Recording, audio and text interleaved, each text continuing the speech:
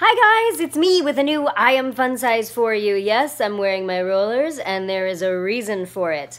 Um, uh, so this one actually just came in and I had to uh, uh, jump on it immediately because it was such a timely question. Someone uh, was asking, what do you do when, you know, you just feel like I'm such a mess? Um, and that's a real distillation of, of what the question was. Um, the person actually specifically said, I'm just a mess. What do I do? Okay, I'm going to show you right now what this room looks like.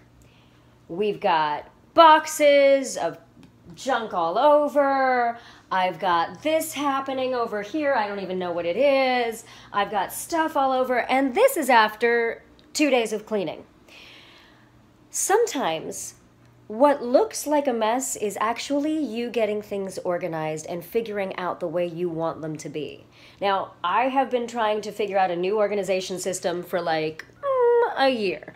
And every time I try, sometimes it works, sometimes it doesn't, but I keep trying. But every time that I take on that task again, I have to make a little bit of a mess in order to be able to get organized again.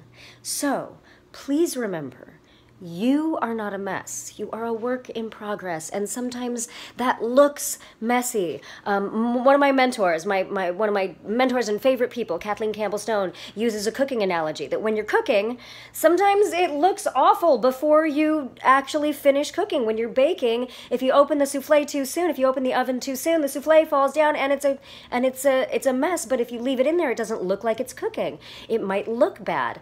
Things that sometimes look like a mess are you just actually working through to get to the place you need to be.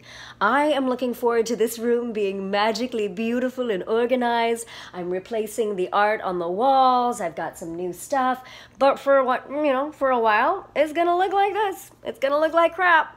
And that's okay because I know that I'm headed towards what I want to be headed towards, even though I don't know what that's gonna look like.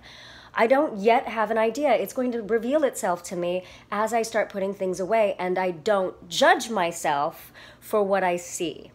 So, again, you are not a mess. You might be a work in progress and things might look messy right now, but trust me, you are not a mess. Okay, uh, if you have any more questions, please send them to me at anjali at iamfunsize.com. I'm going to take these rollers out, which look like a mess right now, um, but they're going to make my hair really foofy and awesome. And um, foofy, because that's a term. I just, yeah, that's legit. Okay, guys, I'm going to get off of this video before I make more of a fool of myself. Bye! All right, you beautiful people, send me your stuff. You can email me at anjali at iamfunsize.com. These are all of the places you can find me on the interwebs. Please send me questions, pictures, fan art, cosplay pictures. Send me pictures of puppies. You know how I love the puppies. Oh, please, please, more puppies. Can I please? Please, guys, please.